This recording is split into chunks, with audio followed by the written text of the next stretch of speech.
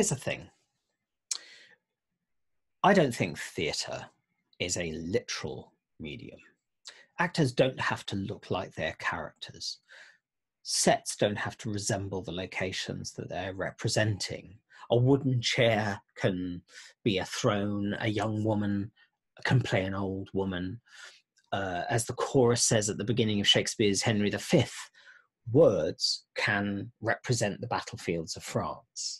Um, audiences, I think, can be trusted not to take the stage literally, um, just as actors surely are people who can play people who are not themselves. Uh, writers don't have to write about themselves or their lives. The theatre is a place of imagination, and playwriting is an act of imagination.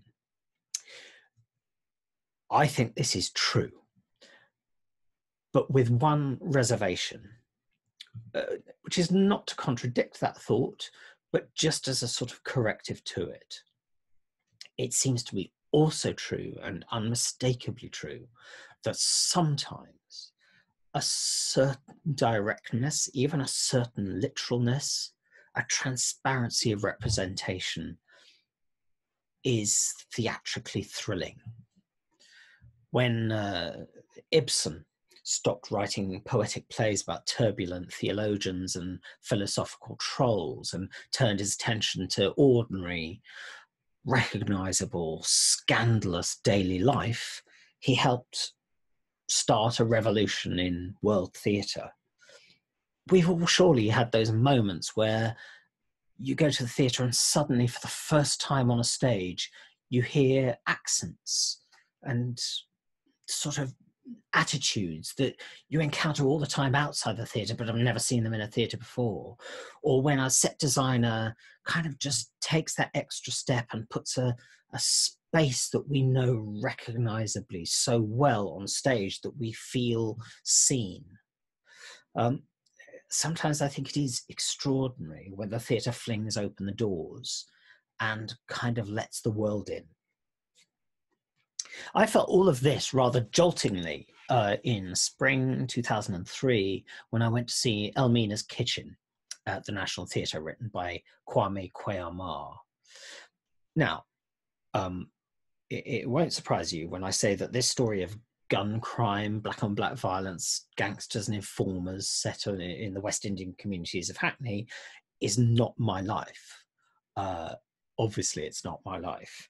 Uh, but it is the world around me. I'm a South Londoner, that's an East London play, but nonetheless, these are the voices I hear every day. These are the divisions and struggles of the city that I live in. And the play was completely captivating, um, written like a thriller, but full of deep, compassionate sadness, as well as clear sighted understanding and a really kind of rare balance.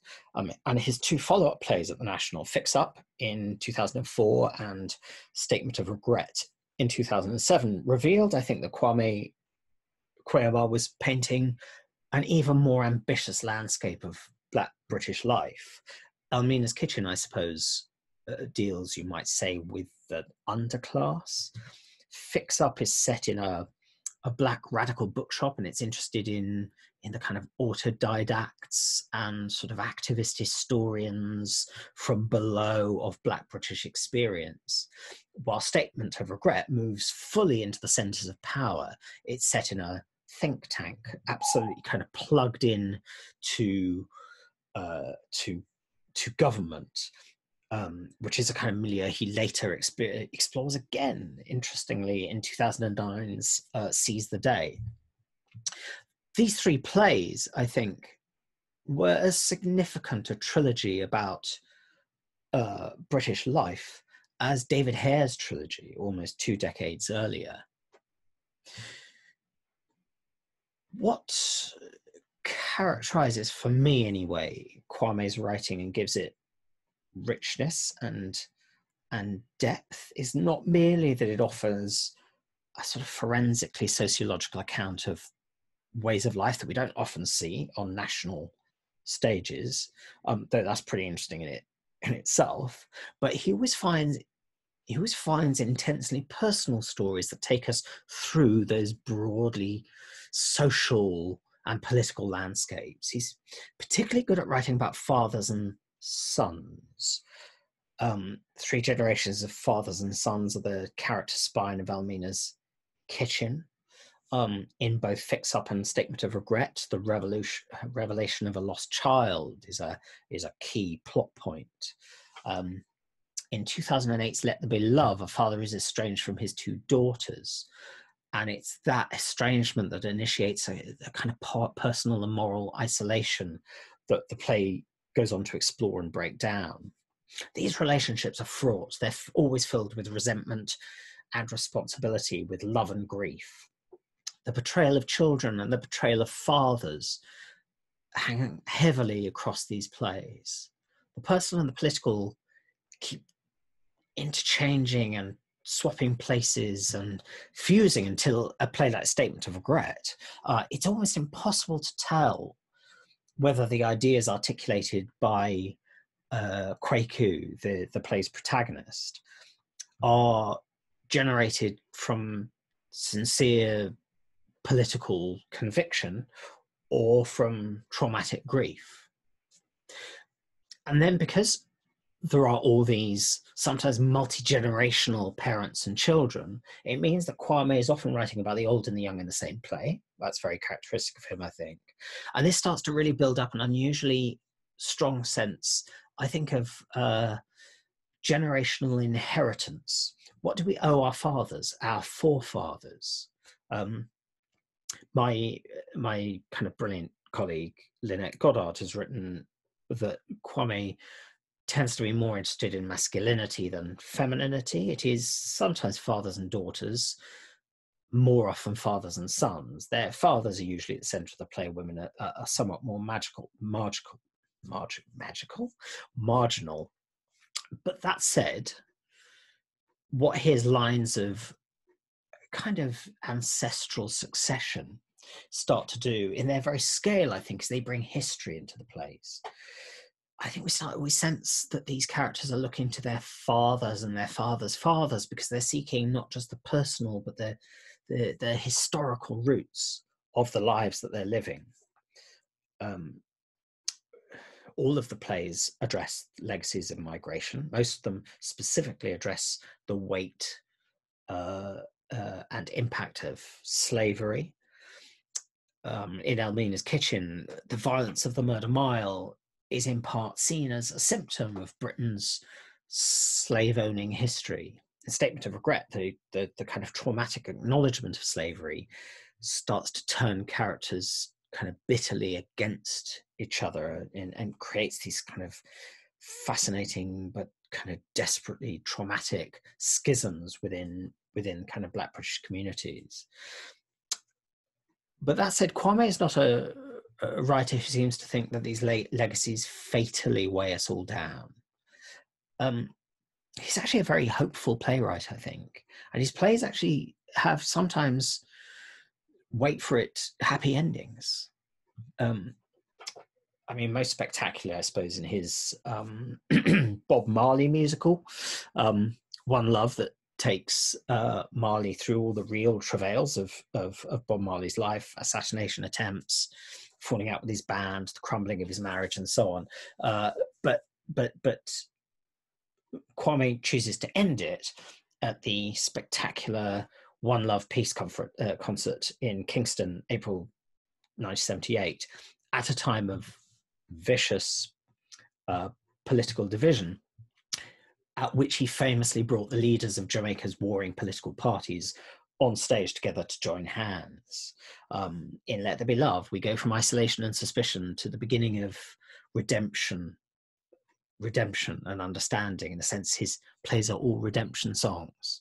Um, and there's his play Statement of Regret, uh, which got very unfairly, I think, a bit savaged by the critics uh, at the time.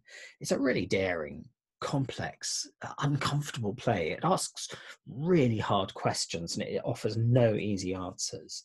Um, it starred the great Don Warrington as the head of this fictional think tank, um, the Institute of Black policy research, I think it's called, and it kind of takes him into hell. He's in grief and denial about grief at the death of his uh, father, and that grief pushes him into this particularly divisive position uh, that I mentioned. And he has a he has a kind of meltdown on TV, and his friends and his colleagues desert him.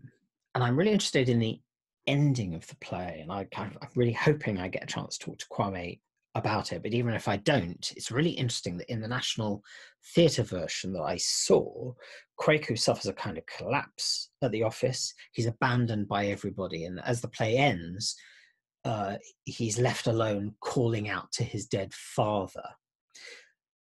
And I remember, kind of on the bus home, kind of looking at the text, and and which obviously was published before the previews.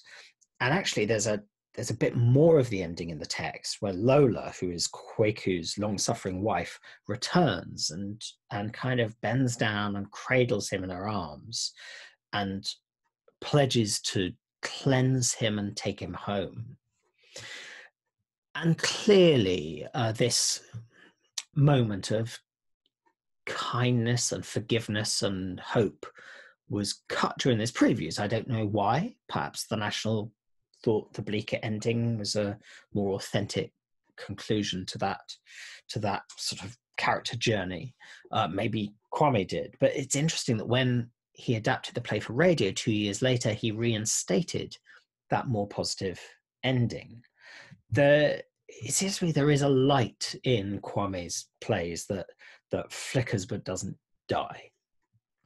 Um, Kwame's a major figure of the theatre of the last 20 years. I mean, he's been a, he's a major figure in the culture of the last 20 years. Uh, but in the theatre, he's been important as an actor, as a writer, as a director, uh, and, and most, most recently as the artistic director of the Young Vic. But uh, it's as a as a playwright that I want to talk to him today, uh, and I'm hugely looking forward to speaking to Kwame Kwei-Armah. Dan, Kwame, how are you? I'm all right, mate. How are you? Yeah, not bad, not bad. How is uh how is lockdown for you? Oh, dear God, you know, um, well, well, I mean, you know, there's young Vic stuff, right, which is which is quite hard. Um, just dealing with all of that stuff. Uh, uh for me, uh, you know, you know, I describe it often like this. When I was um, solely a writer, I'd often I'd lock myself away for a month, wouldn't I? Upstairs, I wouldn't leave the house. You know, I'd bathe every other day while I tried to get away. While, I tried to get through the uh, through whatever uh, script I had in front of me. So uh, psychologically, I, I, don't think that that it, it you know I'm, I, it, it's not affecting me. I don't think because it feels very natural um, to me. Uh, in terms of dealing with the you know with the people that I work with, at work and, and the future of theatre or the immediate future of theatre that becomes slightly harder and i mean do you have I, I i'm sure the answer to this is no but do you have any sense of what the what the next year is? No. The answer is as you said as we sit today no. I think there I, I, think there are questions and i think there are there the, the big questions are when when will lockdown when will we be allowed to socially gather, and then if people will want to socially gather, and and and if so, in what numbers? And I think those will be the big, you know, those are the big questions that we're that we're I don't know we're we're concentrating on a lot on a daily basis, but um, but it's hard. It's hard, you know. Do you have an answer? No, no. I mean, it sort of feels, I mean, the pessimist in me feels like they might be opening sector by sector, but the theatre might be the very last thing. That's not, I don't think that's the pessimist. I think that that's the realist. Um, you know, it, it yeah, it's it's it's not going to be number one. And again, most importantly, the longer we stay in lockdown, the more comfortable we become with lockdown, and uh, and it's harder to, to, to kind of get in the habit of going out. so what, I, what I'd like to do in this uh, chat, if this is all right, is actually to bring you back to that time when you were mainly a playwright. Um, and uh, uh, uh, for the first bit, I'd like to kind of just really think in quite general terms, ask you about how you have written your plays. And I guess the place to start is where they start, which is is there a typical way in which a play has its kind of kernel or its seed? It, do, do you start with an issue or do you start with an image or is it a story idea or is it a character? Where would they? Invariably, for me, it's an idea. I might be driving, I might be in conversation, I might be, and I, and I find, and you know, that crack, that then it says, oh, that's interesting. Oh, that factoid is really interesting. Let's dive into that. Or, or that statistic is intriguing. Or that politician just lied. Why?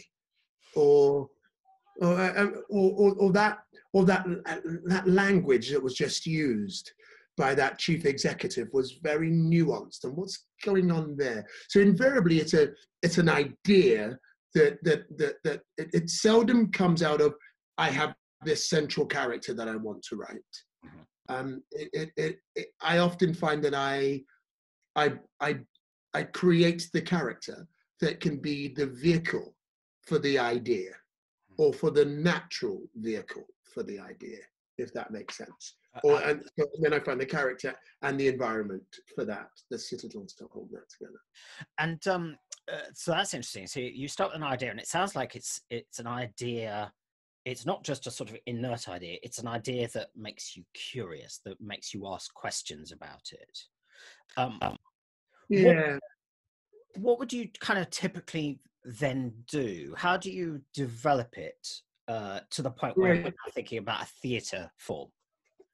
Yeah, I mean, I, again, I think I do. I do a couple of things, right? I get the the idea hits me in some way. I go, oh, "That's really interesting," and then I go, "What is it? Is it a play? Is it TV? Is it a movie?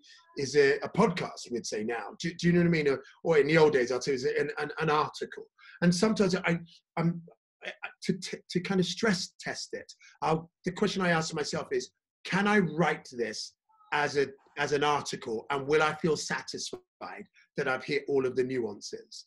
And uh, and if the answer to that is yes, well then that's what it is, right? Then it's it's it's it's a provocation piece that I'll put down uh, over a thousand two hundred words or something. Um, if it's if it's if it says no, it begs for um, a human interaction or a human manifestation. Then I then I knock out article or podcast and I go, well, it, it, it's um, I, I, go, I need I, I, need a character to carry this, to speak to this. Um, uh, so I kind of use that as a as a bit of processing, um, and then and then I write the idea down, and that's the big thing, is writing the idea in whatever pad or or device I have at the time, and then coming back to it the next day and seeing if there's still vibes on it, if it's still jumping off. Now I used to be a musician, and the, and what I would wake up in the night sometimes with a song in my mind, and I'd have a dictaphone next to me. And back in the day when that was, it tells you how long ago it was. And I would sing a melody line or a bass line, and then I'd come back in the morning and I'd listen to it, and invariably I'd go, I can't hear what I heard. I can't. And and sometimes I'm like that, where I write an idea down and I go, oh, I, I, can't I can't see what the crack was that makes me want to write 120 pages on it. But other times I absolutely do. And I go, oh, that's interesting. Are the vibes still jumping off it? And if they are, um, back in the day, one of the joys of being solely a writer was that I would stop everything else that I'm doing and ride that vibration, at least till I got 20 pages in. So I could go, oh, oh, oh, yeah, I think there's something in it. And I'd go back to whatever I was writing before that. But but I knew that I'd started the engine. That's really interesting. So actually, writing would be one of the first things you would do. It wouldn't be that you go, I need to now do some research or build up some notes. You'd actually go straight in to the writing process. Yeah, it's why I'm so shit at writing treatments and outlines. Um, because I, I kind of excuse it, excuse the terrible metaphor, but kind of don't want to do the foreplay bit. Do you know what I mean? I kind of I want to get in and and and just start writing because ultimately, and this is probably because I was an actor before that. Um, I'm I'm I it doesn't live for me until the people start speaking to each other.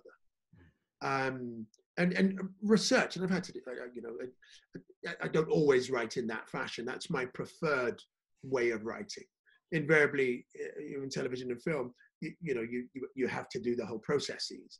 And so I have to learn to kind of be able to extract from outlines and treatments in a way, but um, in a way that I do. But I, ultimately, it's, it's interesting, right? I had an idea, I don't know, yesterday, or it might be yesterday or the day before, and I just wanted to start writing.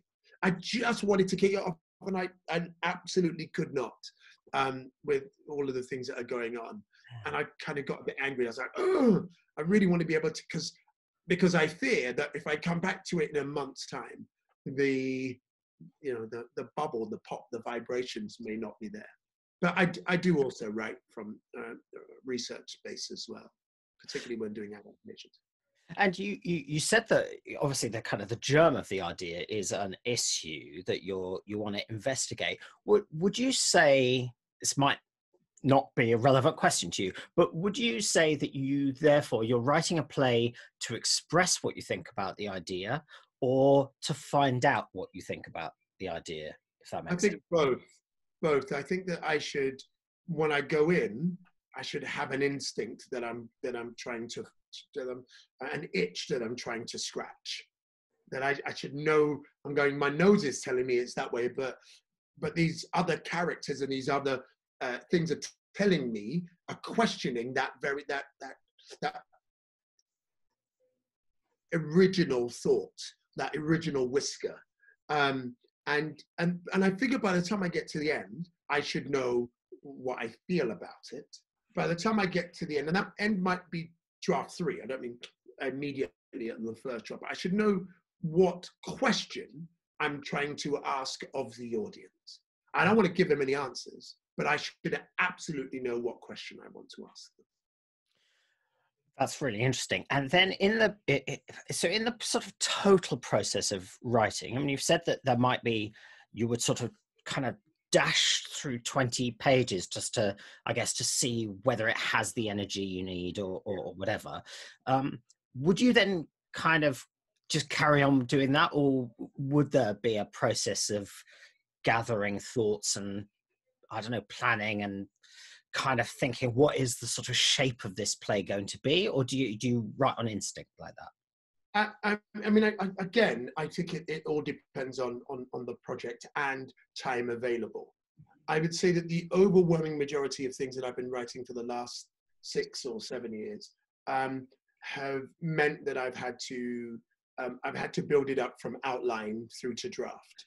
So absolutely, and and much of it I've had to do research, and I, I actually love research. Um, I love um, I love the losing myself. I, am I'm writing something at the moment, and, and you know, and I took two days off to read through an autobiography of a of a leading player at that period of history, and it was just like it was brilliant. My whiteboards are filled with just quotes of this of, of, of this intellectual, and this well actually was a political intellectual, and um and so I I I I, I love that. I love doing that process, but that for me isn't writing what I love is I love idea is born, thinking about who it is, thinking about who it is that I want or what it is that I want to write about, and then diving in and being, and this can sound slightly pretentious and forgive it, but being spirit led, being led by the characters, let the characters lead me, particularly for the first draft, because then I can put structure on it afterwards. I can tidy up the stuff, but my gut instinct I want to I want to come from my spirit or the the restless curiosity spirit that sits in a stall and and and I, and I want to play that's that's when it's joyous um, when I just go let's go. And also when I don't write for anybody when I'm just writing for me you know I and in every commission I've had for theatre this isn't the same for uh, for film or TV but nearly every commission I've had for theatre, where I've been commissioned, the play hasn't made it to stage.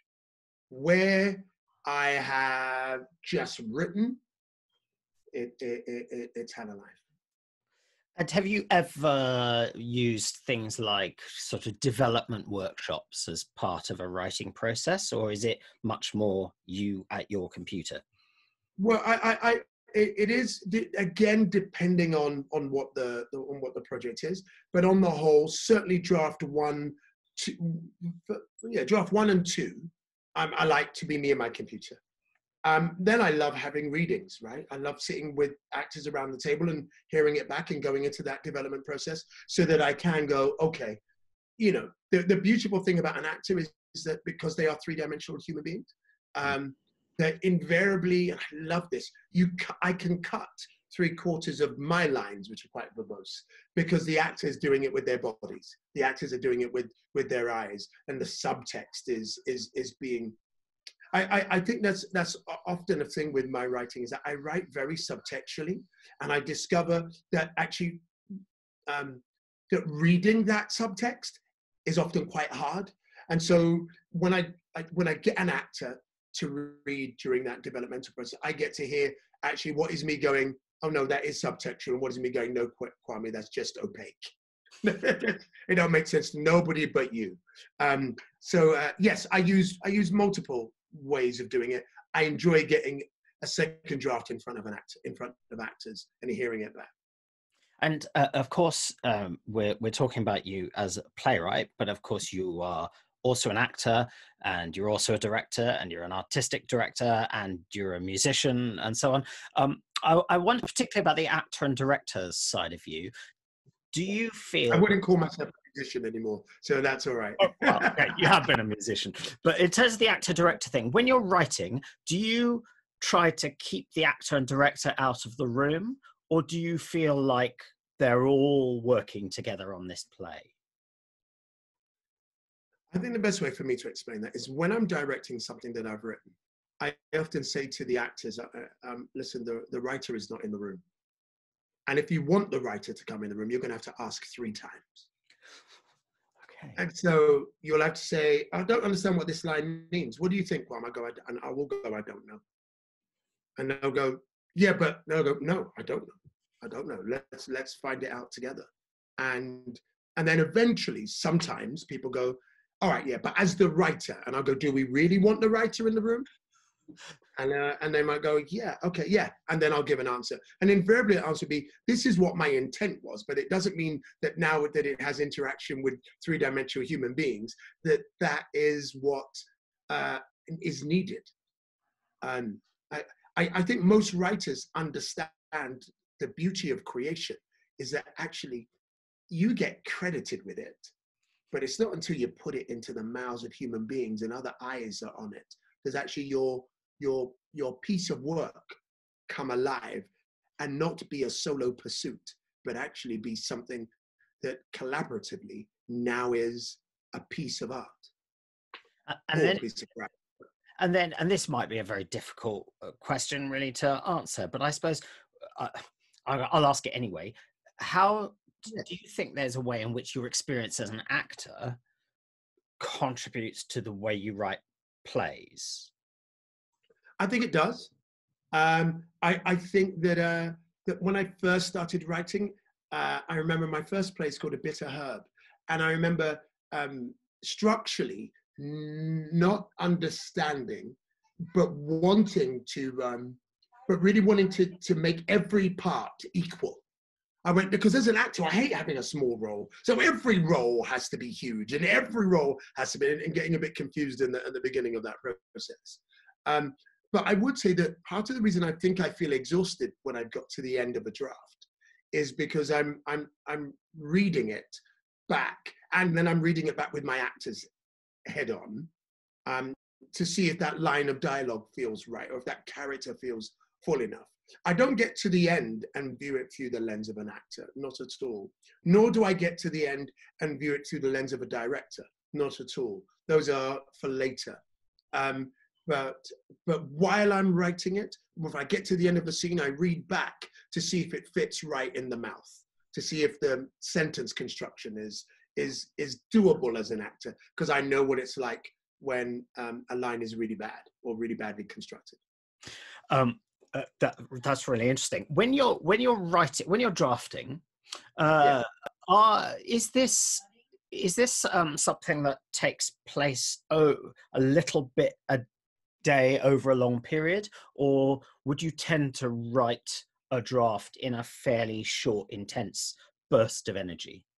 In a in a perfect world, uh, on the less on the less taxing world, is a burst of energy. Right. That I, I I've got the idea. I've given myself the dates to start writing, and off I go and I just keep building and building in the in the kind of black heat of creation that I'm just I'm just going. And um, and and and I, I think it's because I I'm, I'm I'm relatively competitive with myself. And I'm a bit like how many pages did you do today and, and, and how close are you to the end, but you don't know what the end is. And, and, and I want to get to the end so I can just say to someone, yay, I've got to the end. I know the end of a first draft means nothing. It just means you've got to the end. And, but my process is, is such that, um, that I kind of really want to get to the end so that I know the question I think I want to ask and then work out through later drafts if I am actually asking that question and so and so in that process uh, are you uh, are you quite sort of regular in your habits? Are you somebody who starts work at 10 and will work till 4 or do you like to work at night or is it a bit more sporadic? Um i, I mean my as you know because because I'm, I'm i'm ad of the yv uh, that sounded far too many because I'm the artistic director of the Young Vic. Um, you AD of the YV of the Baba. Come on. Um, uh, you know, my days are invariably, you know, I, I get to the office by you know 9 30, 10 o'clock. And on a good day, I'm leaving at 7. And when we're close to production, I'm leaving at 1 a.m. Um, and so um, uh, I like writing at night. So that does me, that's absolutely fine. I, I can go and do a day's work and get home, sleep for a few hours, and then jump back in and work through till three in the morning or something and just kind of burn through it th- that way. But I, I want to keep the I, w- I want to keep the beat moving because I don't want to. So yeah, yeah. I, I write in mostly I write in the night, but I correct myself in the day. Ah, that's interesting. If that makes sense. So I'll just go boom, follow it, and then I need to read it back during the daytime to go. Oh, that line sounded really great. That move felt brilliant at 2 a.m., but it's actually a load of crap. And then, so I'll correct myself in the day. And um, uh, uh, and now uh, going a bit into the into the nuts and bolts of this, when when you're writing a scene, are you imagining the characters as real people in a real situation, or are you imagining actors speaking these lines on a stage? Real people, real people right. in a real situation. Yeah, I could never think about I can only think about the actor once I'm reading it back and go, and thinking, does that line work? Does that? But um, no, no, no. I, I, whether the characters are positive or negative, or whether I, I love them or I hate them, well, in fact, I have to love them all. I have to find the thing to love in them all. I'm, I'm thinking about the real room, the the real space. And uh, going into real detail, uh, are you do you handwrite or are you typing? I type. And here's the real question: What font does that? Ah! Kwame Kwei-Armah. I, I don't give a toss. Whatever comes up, whatever right. uh, you know, whatever's there. I, I, I yeah, I, I, don't think I write in final draft, so it, there I can't remember what one is the, default that. So uh, I, I, I, yeah, I, I, I, I, I don't think I even think about it. Don't okay. think I've ever thought about it. Well, this is your first time thinking about. I know. I will do now, though, right? And I go, oh, what fun means most to What am I responding to the best? um, and then what about rewriting? Um, because yeah. you know, rewriting, I think, is one of those skills that often happens later than learning how to write dialogue and so on. How how do you approach rewriting and redrafting your work? Um, I, I, I love the rewriting process. and there's a little bit of a lie in that. I think everybody wants to have the kind of an Alan Bennett like reputation that the first draft arrives and everybody goes, it's wonderful, bang, and you don't have to do any more. You know, I, I, I wish that was so. Um, and, and, and every first draft I hand in, I hand in thinking it's great. Uh, and then from the moment that I realize that it isn't, I love notes. Ah. And I want hard notes. Don't, don't, don't, don't look after my sensibilities. It's what they're already in, they're already wounded because I didn't write a genius first draft. So once I, you know, once that's happened, I like, I mean, I'm the kind of guy that like notes like the stuff that you wrote on the script when you were reading it for the first time. So goes, what? What the hell is this? Big crossing out makes no sense. I like those kind of hard, um, tell me it for real because I because I, I, I want to be able to answer the question.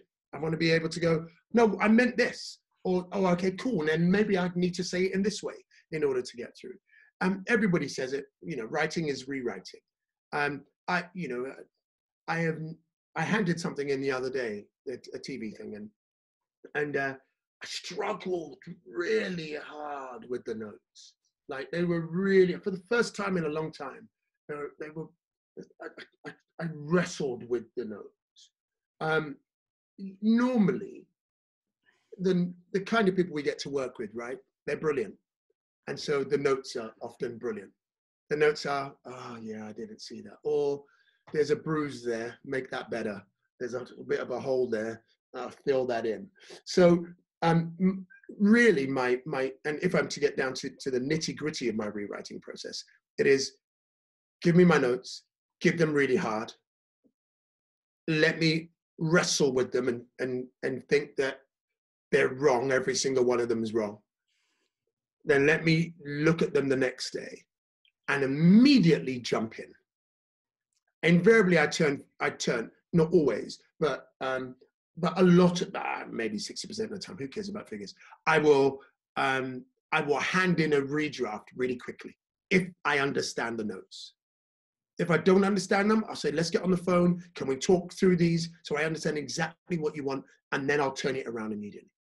Right. And to be really, really um, um, kind of hyper specific, um, I'm slightly dyslexic. So it means that there's always going to be spelling notes. There's always going to be uh, words missing. There's always going to be things badly spelt. So it means that most of the time I get notes back and they, you know, they've told me all the big headlines and then they go, and here are all the spellings. And it's a really easy way for me to warm up, to just go through the script, correct those spelling mistakes, put in those missing words, and then I'm into, okay, I've started.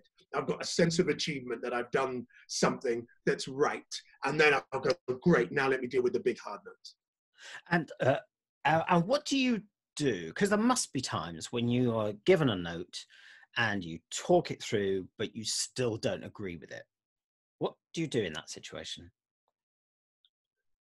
Um, you know, as an artist, period, I believe that the audience, and that will be the reader, is always right until I don't want them to be. Um, and so it means that the first time you give me a note, I'm going to try it. Right. Okay. Whether I hate it or not, I'm going to try it. Hmm. And if I try it and it doesn't work, and you ask me for it again, I'll say, guys, I tried it. And I go, no, but I want to see it. There, there was some producers, there's only one producer I've ever worked with who insisted that every single one of their notes I did. And, uh, and, and actually that relationship didn't work very, very well in the end.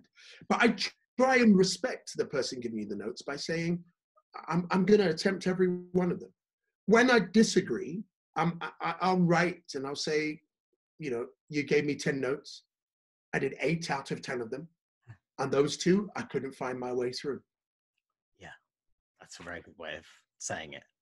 Um, and um, writer's block. Have you ever had that? Uh, yeah, yeah, yeah. Um, uh, yeah, yeah, it's a it's a hard one that isn't it? Because um, because I think I can't speak for anybody else, but um, I'm a firm believer in sometimes just type. You know, just type.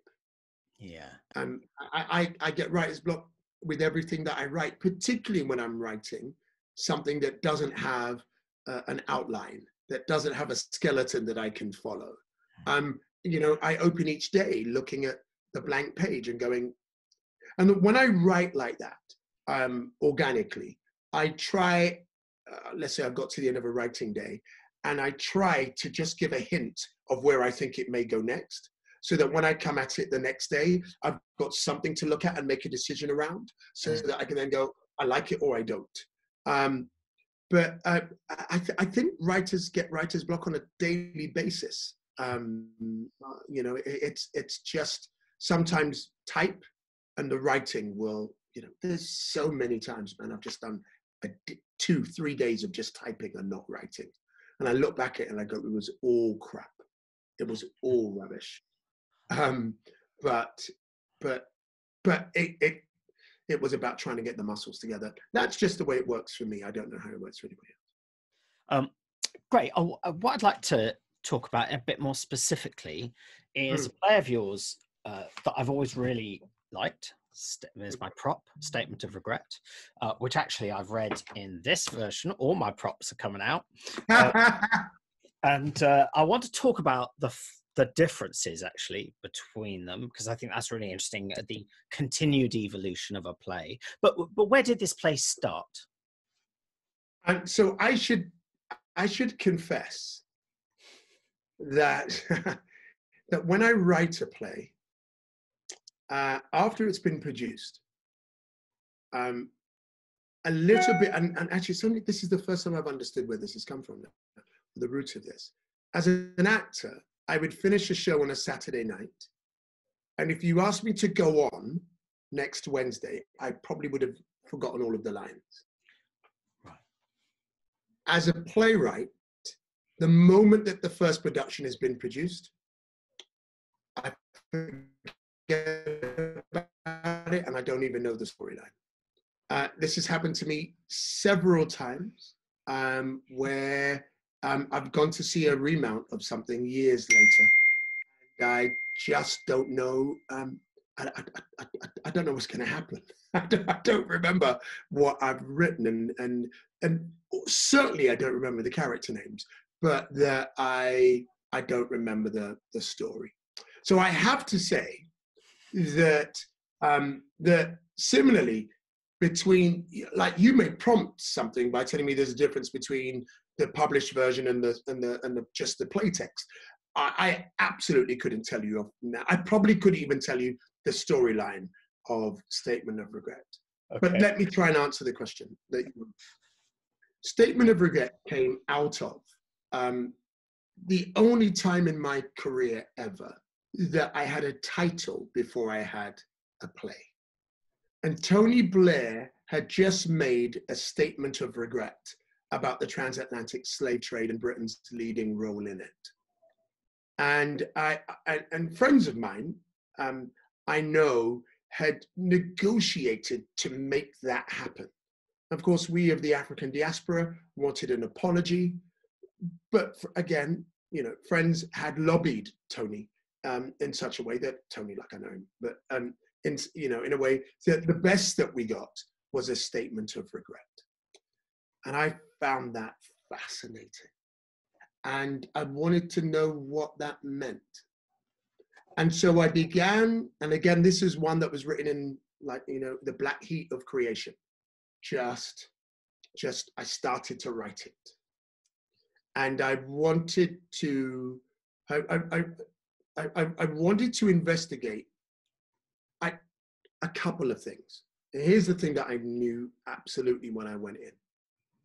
I described my three plays at the National as a triptych. Elmina's Kitchen was set in the underclass. Mm.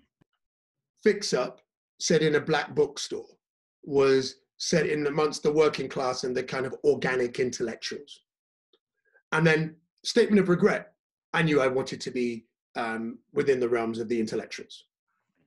Um, you know, I, I, if we wanted to break it down into class, class, but so I knew that I wanted to put it in a think tank. I wanted to create uh, a, citadel of ideas where ideas could be explored and fought.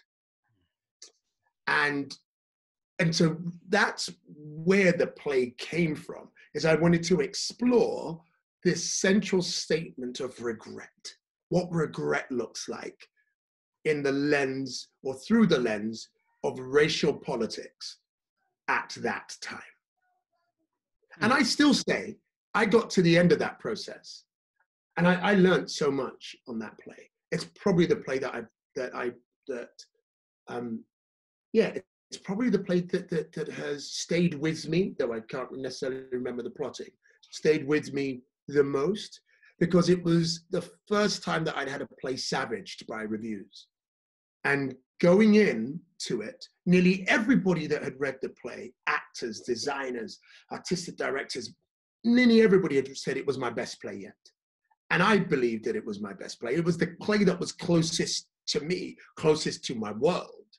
Um, uh, and like Elmina's was huge research. That was a research project halfway through that.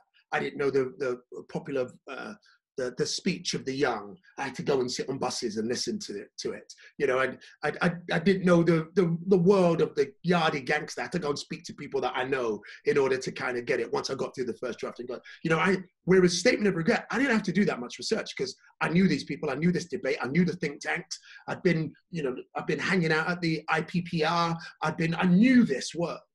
And everybody, as I said, said it was my best play, and I believed it was my best play. And then it got savaged, and um, and it stayed with me because the lessons that I learned from that play is probably why I became a director as well.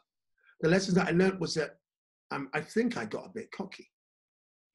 I got cocky in that um, I remember we had six weeks rehearsal, and I wasn't directing, of course. In the first three days, we did table work and I just talked and talked and showed off, not consciously, of course, about, you know, who does this and why I know that and what the connections and what the subtext is to this and what this. And I just pontificated and wanked. And, uh, and I, and I, I learned after that never to do that again. I probably gave all of the actors all of the answers without ever having, um, without them having to do any real work and um, and it, it, taught me a life lesson. And um, again, uh, you may, of course, you may, if you don't remember the play or that well, you may not be able to answer this question. But one of the things you I should ask them anyway. Ask them anyway. It will prompt and it will come back. Well, uh, one thing I think is really really interesting about play is that on one level um, it's it's it's a move to a slightly more public realm sort of public political realm i mean yeah. i think tank i guess is is a private thing but it still feels like it's it's engaged in a very big public it's about the news and the media and, and so on. Uh, but on the other hand the play is also is also very personal so that i think still by the end we don't quite know whether whether kwaku's advocacy of african caribbean rights against african rights is genuine political conviction or it's the grief talking. Do you know what i mean? So there's that really interesting ambivalence between the the personal and political. And I wondered, I wondered how personal the play was for you. Um, let me say, I'm not asking, I'm not prying. I'm more interested in how you, t- if it was quite personal, whether there's a sort of self investigation in the play, how you turn that into sort of dramatic meat rather than just purely therapy.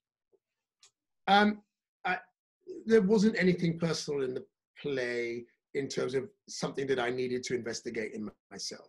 Okay. Um, I don't think, not overtly. There were stories from my life and observations from my, uh, absolutely. Um, I, I, I, I think, but what was, but what was interesting for me is that I, at, particularly at that time, I, I was in a unique position. The, we didn't grow up in a culture where there was such a term as African American or you know or African Caribbean. We're going to went Afro Caribbean, but there was still a major schism between our two communities. Certainly growing up, and by the time I I'd reclaimed my ancestral name, as we say in the trade, uh, uh, um, uh, and and because I have very clear Ghanaian features, mm. um, you know, I, I I I was riding the middle you know, in, on, in both negative and positive. On the negative, the Caribbean community would say to me, "Why are you trying to be African? uh, the Africans don't like us, like with a the in front of them, and uh, and the and I'd be with people who knew me professionally and where you've met me as Kwame, and and and all communities that may have seen me on the television, blah blah blah, and and saw my name and saw my features and perceived that I was um, solely from Ghana, who would speak about why would you, you know, all those jamos, those West Indians, they're not educated and they're uncivilized, and and there was this kind of debate that I would, this kind of duality that I was living at the time, and that both communities would almost deny. Um, and that's where the denial in the play comes from. That they would deny that they felt that way because they wouldn't speak that way if I were if they knew I were West Indian. They wouldn't speak that way if there was someone that was African in the room, um, unless it came out of, of conflict. And so, in in a way, I was fascinated with investigating the things that we push under the carpet. And I profoundly believe that um, that everything comes back and bites us in the ass if you don't look after it properly. If you don't put it in the air and debate it and smooth it out, it just comes back to bite you. I would call Trumpism nothing but and and and where we were, were with Brexit is nothing more than we just we the progressives thought that we had won battles when actually we had only won the silence and suppressed it and then it comes out with a with a, a, a, kind of with a with a nastiness sometimes that that we just don't recognize um, and so and that's not to say that every brexiteer was nasty or that every trump supporter is nasty but it is that, it, that the energy around it can sometimes come out in a, in a way that that has aggression attached to it when we thought that we'd gone past it so right at the heart of the play was was was the question why are we hiding and what are we hiding? And there was a central, uh, the bit, not the bit, but one of the bits that I'll never forget was a scream that Kweku does, and I think it's somewhere in the second act, where there's a discussion about the difference between Africans and African Caribbeans and, and how reparations would be applied and who it would be uh, applied to. And, and, and Kweku says something like, if you loved us so much, why didn't you come back and find us and get us and rescue us and, and from the from the demons of, of European slavery. I, I don't remember the lines exactly, but I remember. And um, every time Don would, would say that line, um, I would feel it in, at the core of, of, me. It doesn't mean that I agreed with the logic, but mm. I felt it right at my core. So to answer your question, that was a really long way round, but to answer your question about was it a denial play? Or was it a play that was about the ideas of reparation? Did it come out of a sense of division of hatred of African of Africans, as it were, or people directly from the motherland, from his West Indian lens? I, I would say that it was his grief speaking, but it wasn't permanent. It was it was out of the pain of realizing all that you have lost. And the step after that is is reunion, is a, a, a reunion that has nothing hid under the carpet, nothing unsaid, even where you go, okay, I now know you, you know me.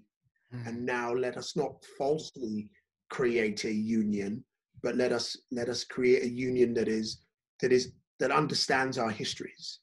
And and, and uh, you know, and, and as an African Caribbean, I did perceive that we are an ethnic group of the African family, and there are many ethnic groups in the African continent. Mm. Um, you know, but but I wanted to investigate that. I think. Um, uh, that's that's really interesting, and that bears on the different endings, which uh, you you haven't you, you may not remember, but uh, can you tell me which end, which one, which is in which is which? But actually, do you know what? I think somewhere I may no. Can you? I I I, don't know if I have that. But you know what? I'm going to find it. I think I I think. Okay, give me a second. Uh, uh, okay, good. I've got one of those, and but I don't have the I don't have this the, the play text. I should have done I should have done this, shouldn't I? Before I should have and I should have I should have um, but I think no, I, I think the other one might be downstairs. So I won't bore you and run and get that Well, now. But you could tell me the difference in that one, and I can. I think I can tell you the stories about how they became. well, actually, they you've got two different endings in Yeah. this, in this one because Oh, how have I? you rewrote the ending for radio. Uh, and what's interesting is so the the the stage version that you've got here ends in a sense without that reunion because it ends with Kweku talking to his dead father. Yeah. But in the radio version, Lola then comes in and sort of cradles him and promises to take him Ah, home.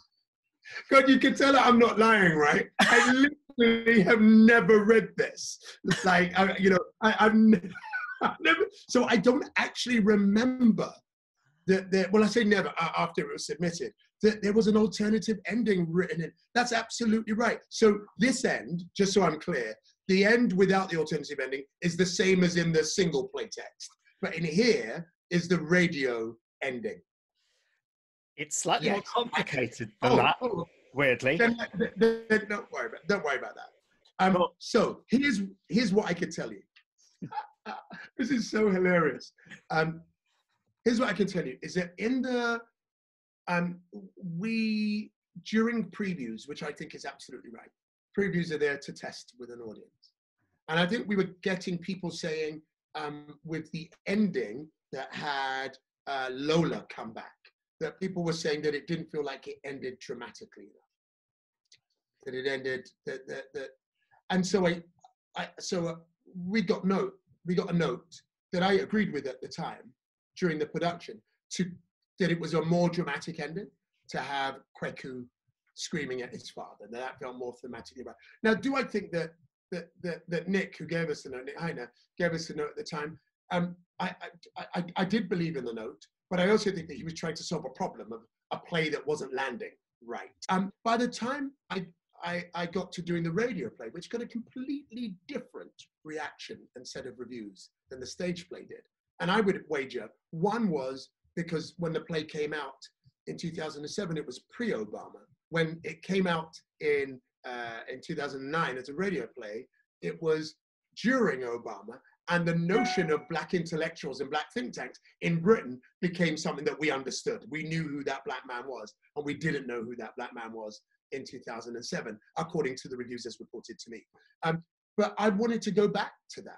I wanted to go back to the original healing, which was his wife coming back and saying, um, I now need to pull that spirit of negativity from you. I need to heal you. Mm. and you you will be healed and we will we will go back home and heal together. So that was a really a big missing element out of the, the one that was on at the national. I'm so glad you reminded me of that. That's hilarious.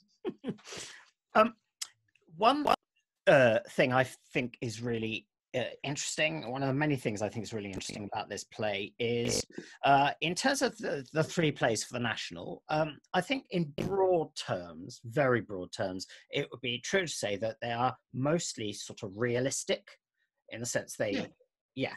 Um, but there's a really interesting device in this, which is the character of Sobi, yeah uh, who is the uh, who we meet once in the first act, and I think we just I think we maybe I certainly did. I assumed it was Lola's father, and then only at the very end of the play do we realize it's a hallucination or a Yeah. ghost or something. I, this may be taking you back to something you just won't remember, but do you remember how that idea came to you, or was that very instinctive? I, I think it was instinctive and i would say um, it was right at the core of the idea because um, i had lost my mother two years before that and so the notion of having a debate with an ancestor past um, was right all, all over me. And so, um, right at its core, I knew that he, he had lost. He was he was dealing with grief, and that was what catapulted him into um, in, into the state that he was in. And I knew it was grief because also the five stages of grief, as we're told, is kind of roughly the acts of the play. Um, yeah. so I, I, I, and I would and I would say also negotiating with and putting the spirit into a piece. Um, the only piece, and then I can't really remember correctly if there is anything like that in Fix Up, but in Elmina, Elmina has a a, a prologue that yeah. wasn't uh, at the beginning of Act One and Act Two that actually wasn't produced at the National because um, on the whole, um, it, it wasn't felt that it would be understood. When I've seen the most powerful productions of Elmina, one was in Brixton Prison with many who were who were from the Caribbean and Africa in it, and they opened up with the spiritual prologue. Um, uh, it, they understood it intuitively and uh, and and and made it work. So in an in an odd way, you would be right to read that and see that. But um, but I've always slightly played with a sense of the spirit. Um, in, and no, I think in Fix Up as well, there's a sense of spirit. But you're right, by and large, they're, nat- naturalistic plays that are infused with elements of spirit. And then um, uh, uh, one thing I wanted to uh, ask about, which I think eh, possibly relates to the fact you're an actor, there are uh, there are stage directors in uh, Statement of Regret that I think a playwright who isn't an actor wouldn't do because they'd be wary about treading on an actor's toes. Do you have an example of one? Well, know, things like right at the beginning, Kwaku slowly stops what he's doing and looks towards the computer. It's as if a dark cloud has suddenly descended. He pauses for a moment, unsure quite how or what to do. He moves quickly to his computer, switches it off. Still unsure what to do, he lets his head slowly fall till eventually, even though he's tried not to, his eyes begin to swell. They're they're quite. I mean, you're giving the actor a, a lot, and I think I think what a, a, a, playwright who isn't an actor might kind of go, I can't. Uh, the actor has to find that out for themselves. Do you know what I mean? Yeah, I, I, think that's a really good point, and you're absolutely right on that. I think one of the things I learned from Angus Jackson, who's the director of Elmina, um, was that most directors, and I wasn't a director, but most directors um, pick up a script and when they go into rehearsal, say to the actors, "Now let's just strike all the stage directions and let's find it ourselves." And so, in an odd way, um, my job is to let you know exactly what I'm thinking. What you choose to do with that is is up to you. And invariably, with really classy actors and classy directors, they invariably do something that I never even thought was possible with a line or with a bit of stage direction. They actually augment it. For me, this uh, when I and I do overwrite stage directions because I'm I'm I'm desperate to make sure that I'm saying, this is what I'm thinking as a baseline, then you go do what you need. Okay. That's and that's also what I'm also interested in. Though this is slightly different, is the way you specify music. Um, yeah, there's the there's lots of Aswad in it and yeah. uh, so on. And is that again a suggestion, which is the, the sort of saying, this is what I was listening to, this is the mood I've got in my head, or are you actually a bit more no i want to have aswad in this moment i'm somewhere in the middle yeah i'm in i don't need you to actually do this but i need you to understand the sonic vibration yeah. that this adds and contributes to this scene yeah. So if an Aswad bass line goes boom, ba bum, ba ba ba bum, ba ba bum bum bum bum, ba bum ba bum bum bum, ba ba right? That's that's a song called Warrior Charge. That means right at the beat of that is a warrior beat that gets your heart racing, that makes you feel militant. I, I'm giving you the closest thing that made me feel that way. You might then give it to a composer and say, I don't want to use Aswad, but I want to use but I, I, again, it's baseline. And, yeah. you know, I, I, I, I believe in, in the complicity or the trinity of, of, of theatre, in that it exists on an aesthetic level, on a sonic level, and then a spiritual level. Right. And, and, and in order to get to the spirit, you've got to get the sonics right. And you've got to get the aesthetic and the truth right. Hmm. Okay, and this is my last question. You've been writing plays for just over 20 years now. What have you just under? Yeah. I think your first play was late nineties. Yeah, the no, no, my what was it? Oh yeah, my first play. You're right. Damn, my first play was 2001 produced. That means I wrote it 99. You're right. Yeah. Yep. What have you learnt? What can you do now that 20 years ago you wouldn't know how to do? Okay. Uh, a really, really, uh, a really, really interesting question. I'm just going to turn my um, my computer around for a moment. I don't know if you can see it, but there, I'm just going to see, is a poster of a RADA production of my first play, A Bitter Herb. Can you see it? I can. All right, great. So, um, as I said to you before, um, once I've written a play, I've forgotten about it. I don't really know what the plotting is. Even though we've talked thematics of statement of regret, that's I can remember the thematics. You couldn't. Uh, I couldn't tell you what scene followed what or what the story was, on the whole. Um, so RADA reached out to me and they said uh, they were doing a production of, of A Bitter Herb, my first play, and uh, would I come and see it? And it just so happens on the very last day before I was going back to, to Baltimore, I was directing something in, in Birmingham. I got to see the production. And I was very, very nervous about it.